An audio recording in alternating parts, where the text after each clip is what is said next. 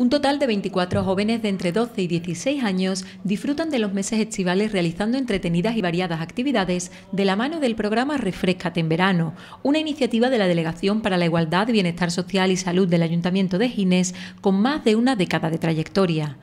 Divididos en dos turnos y guiados por dos monitores, los jóvenes aprenden a divertirse de forma saludable realizando diversas actividades plásticas, manualidades y hasta trabajos en cuero y pastadas, siendo dos las líneas fundamentales del taller, la mecánica y la carpintería. Pues principalmente porque me gusta hacer manualidades y porque conozco los monitores de anteriormente y me cae muy bien y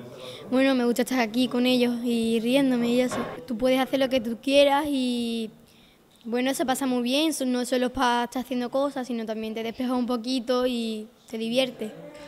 Lo anterior se completa con varias salidas a la piscina municipal y charlas formativas en materia de prevención impartidas por técnicos del programa Ciudades ante las Drogas.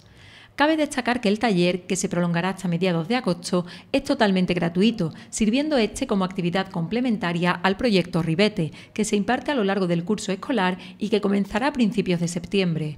Gracias a Refrescate en verano, los pequeños encuentran una forma de ocupar su tiempo libre a la par que aprenden y conviven con otros niños de la localidad.